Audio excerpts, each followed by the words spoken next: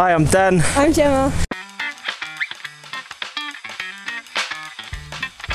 We're in Tignes today exploring 11th of January. The village is great, the slopes are great, it's really good weather. There's a great mixture of like you know different abilities, isn't Yeah. there? So many blues, greens, Yeah, reds, blacks, and there's plenty of places to go off piste as well, which Great is really good. there's something for everyone. Yeah, there's so many restaurants to go to, bars to go to. Yeah. It's great for après, and um, yeah, it's no, it's really good. Yeah, I'd loving it here. recommend anyone to come here because it is good.